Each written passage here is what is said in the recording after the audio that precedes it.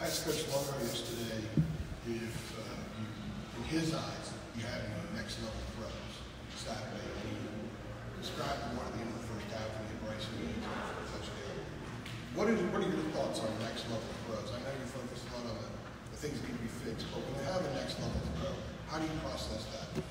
Yeah, I think uh, you know. I think first of all, Bryson, you know, he, he makes it easy. He's a big target, um, so I got you know, I really can't put it in a bad spot for him. Uh, but I figure you know, six six, uh, history playing basketball, just put it up and kind of you know let him go up and get it. Um, other than that, some next level throws. I thought you know some were just more generic. Um, I thought Coach Long did a nice job of kind of scheming up. We had some guys pretty open. Um, maybe a few deep ball, maybe one to Gavin, I think on the post. Um, I thought it was a, a, pretty good throw. And then I think JJ went up and made it look like a good throw. So uh, on the first deep ball. But other than that, you know, just try to put it in the best spot I can for him, and uh, you know that's their job to go up and get it. So. How, do you treat trying to learn from good throws and good plays? I know again you fixate on the, on the things that go wrong, but how do you learn from the good things? Yeah, that's a good point. Um, I think I think just kind of seeing you know how the how each receiver goes up and get it just to uh, where they like it and kind of where they're best at getting it. I think Bryson you know, being a taller guy, he goes up and get it, putting it, putting it kind of higher up. Um, but you know, Coach Coach Longo our emphasis kind of put it in the box, kind of across the middle and stuff, so we're not overstretching guys and kind of tip balls and stuff. But um, I think sometimes the tight ends like Bryson, you know, he may he likes it up there and he. Um, he, he, always tells me to just throw it up and get, he'll go get it. But uh, I think same with JJ. So just kind of knowing your receiver and just kind of, you know, keep building um, that kind of where they like it and just keep making those. And after practice and stuff, work on those stuff. So. What's the benefit of having so many options at running back and wide receiver? So many guys that make plays, it seems like you're really spreading around versus games. Yeah, I think the, I think the biggest benefit is just not feeling like forced, you know, to you know to feed one guy, and I think all the guys, you know, they're cheering for each other, and uh, you know nobody's over on the sideline mad they're not getting the ball. So I think it also makes it tough, tough on the defense. You know, game plan us, they got a, you know seven or eight guys that they got to worry about that all can do different things, and they all do them differently, and they, they do them well. So I, I think it makes it tough on the defense coordinators. What do you think about Pettaway's speed when you see him get the ball? Yeah, George. No, he's in open field. That's why we got to get him out there in more scenarios. Um, I think that that one we handed off of power, um, and think there's their boundary safety came down, knew it was a touchdown. He couldn't tackle George in open field, so we just got he gets it fast. So we just got to give him more opportunities. Maybe he can even do some more stuff in the pass game. We got some stuff uh, going in uh, for George, so uh, he, he need to take advantage of his skill set, so he, he can make some plays.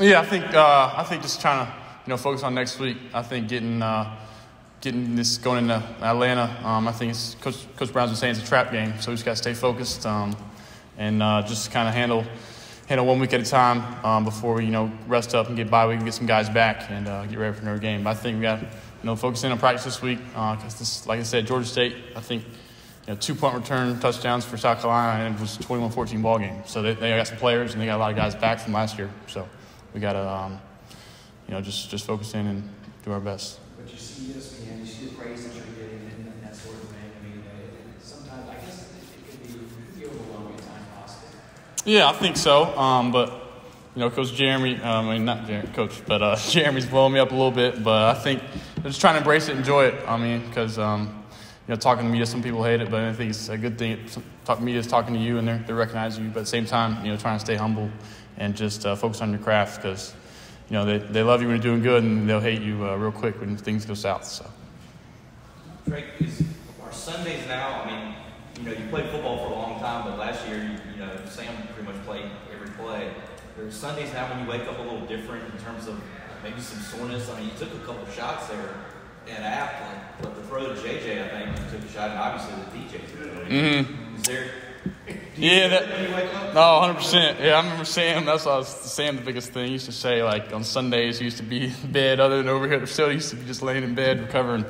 Uh, no, that, that first, yeah, that first throw to JJ got my back hurting a little bit, but you know, getting there, getting treatment, I'll be all right. Um, for some reason, my hamstrings are pretty tight, which I don't even know why. I think uh, I need to run some more sprints after practice because I was I was pretty tired out there. I think y'all probably saw. So just uh, doing more for my body because you know my body's my weapon, so I just got to take care of it more have any standout moments from the App State game or any players that may have stood out to you or surprised you during that game? Uh, hmm, that's a good, that's a good question. I think uh, Caleb's Hood's long run. Uh, I think right guard. I, was, I think that was William coming around on the, on the, on the power play. I think that that kind of kind of settled us down uh, that long run. I think he could have scored. Um, you know, every time in high school we played Richmond County twice. He was he, we weren't catching him in high school, so I don't know. Uh, Caleb, I think he, he ended up pulling something on that run or something. But uh, I think Asim Richard has been uh, doing a great job with left tackle. You know, left tackle's one of the toughest spots, and kind of up front they go unnoticed. Um, but you know, Asim, you know, he comes in every day, he works, he doesn't complain, and he puts on a smile. And uh, Asim is uh, kind of backbone of that left side. So uh, him and Ed, you know, steady Eddie, as Corey Gander calls him. You know, them they're making some plays, and O line's doing doing a nice job. Three sacks. I think I could have done a better job of not taking those, but I think it was only for nine yards, so not that big a deal. Drake, what to you has been the key to success in red zone offense so far? Um, mm, I think running ball first and foremost. Uh, knowing the defense, you know how to stop the run. We got some some good backs for making plays. I think, you know, Coach Longo's putting some red zone stuff. Uh, you know, moving me outside of the pocket. I think down the red zone, I think that's where you know I'm best. I can make the plays running and uh, throwing. But also, I think we know the tight ends make it easy. You know, we got three weapons down there they have to worry about.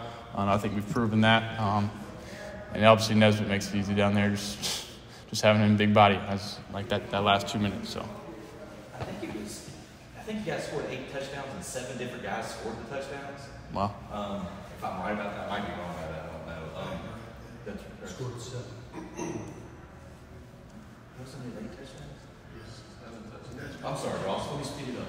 Um, I think seven different guys scored a touchdown. Obviously, you, you, you hit what against FAMU? You had ten different receivers you hit. Yeah. I mean, for lack of a better term, is it just do you find it fun just to spread the ball around and get you know a lot of different guys involved? Is that just enjoyable as Oh. quarterback and the leader of the offense? Oh, no doubt. I think you know getting everybody involved and everybody's always, you know, the whole team's happier. I think, you know, we're doing uh, a good job creating depth. That's that's one of the big points last year. I feel like, you know, we kind of had the kind of some front runner guys, and you know, um, after that we kind of dropped off a little bit. But I think, you know, credit to you know Kobe and the young receivers, and uh, you know the freshman running backs getting in here and, and going to work. Um, I think, uh, you know, like I keep saying, defensive coordinators have trouble scheming us because they can't just focus in on one player, especially when Josh and, you know, AG, they're, they're coming back. Um, they're to have a, a lot under their belt. So, uh, no, we're going to be pretty scary. So, As those two receivers you just talked about being out, once they get back, the young guys who are taking their spot, can anyone go low for the future? Those guys, you can now depend on those guys. oh, 100%. That's what, you know, Coach Longo keeps, keeps preaching. Um, they got, uh, you know, Gavin and JJ, they're getting some big time ball game reps. Um, you know, AG comes back and Josh, you know, play inside and outside. Uh, it just creates, you know, that, that, that more depth. And um, I think JJ and Gabo, they've been a little tired out there, they'll tell you. Um, they've been a little tired, so maybe 60 or 70 plays, maybe a lot for them. But even rotating them out, getting 30 or 40 each plays, 100%, that, uh, you know, full speed, they'll, they'll be tough to handle. So. Kayla mentioned something along the lines of accountability Sunday. We kind of looked on the mistakes you made and try to fix it. When you guys put up 63 points and have a really good offensive day, I guess, what does accountability Sunday look like for you game Yeah, I think you know there's always stuff to work on. Um, like I said, I mentioned those sacks earlier, and then uh, App State brought some of the you know the all-out blitz cover zero stuff. Um, I thought you know I missed Kamari open one time down the seam. Um, I thought we you know we ended up handling it nice on the DJ touchdown. Uh, they let the back loose, but you know we worked on that Sunday, and then um, you know some stuff, some decision making I made uh, on some some RPO stuff, but you know, just gotta you know kind of be uh, kind of diligent and uh, get on the small stuff because I mean, uh, sorry, uh, but just kind of look at the small stuff and just try to get better each week. That's what I'm trying to say. I don't struggle with that question. Sorry. One, one of the things coming out of FAMU you guys talked about was maybe improving your footwork a little bit. You thought you might have been, I don't know, a little jittery or happy. Just watching the game Saturday, I think some of us thought like, you know, it looked like you could see a difference, like you were kind of sliding in the pocket as opposed to, like, did you, was that something you thought you were able to improve on, like the footwork aspect of it? And there were a few subtle little moves just to stay in the pocket? Yes, sir. Yeah, no doubt. I think I actually did do a better job, a little better job. Sometimes, you know, I think, I think last last week against FAMU maybe like five or six times. I think maybe against App maybe once or twice. Um, so just keep getting better at that. And you know, honestly, some throws, um, I think drifting towards it, you know, helps. Like that touchdown uh, to JJ, you know, drifting left a little bit.